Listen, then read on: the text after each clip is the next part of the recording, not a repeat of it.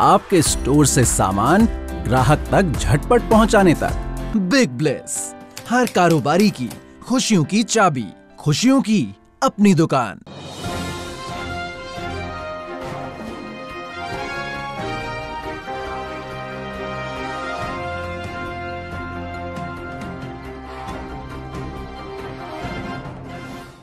देश की राजधानी दिल्ली में ठंड और कोहरे का प्रकोप अब तेज़ी से बढ़ने लगा है।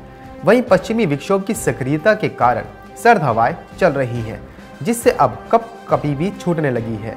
मौसम विभाग के अनुसार इस हफ़्ते के अंत तक पारा और गिरने से ठंड में बढ़ोतरी होगी और इसके साथ भी ठिठुरन भी बढ़ेगी।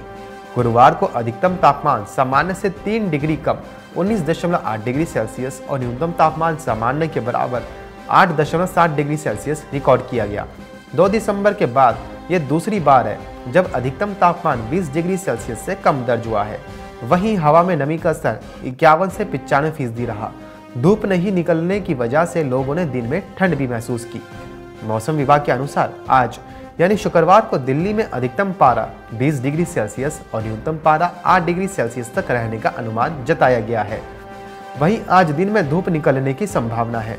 हालाँकि इस दौरान कोहरे का भी असर रहेगा। कल से न्यूनतम पारा 6 डिग्री सेल्सियस तक पहुँच जाने की संभावना है।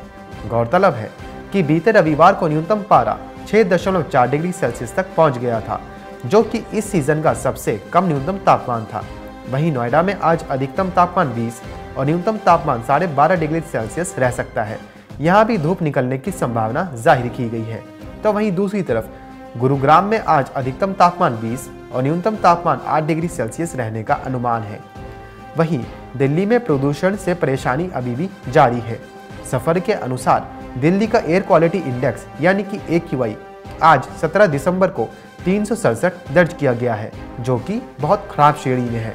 वहीं नोया, वहीं नोएडा की वायु गुणवत्ता सूचकांक भी काफ़ी खराब है और दो रिकॉर्ड की गई है।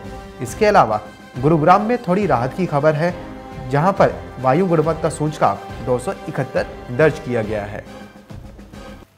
Report, Market Times, TV. आपके कारोबार के लिए फंड और लोन जुटाने तक। बिग ब्लेस, हर कारोबारी की खुशियों की चाबी, खुशियों की अपनी दुकान।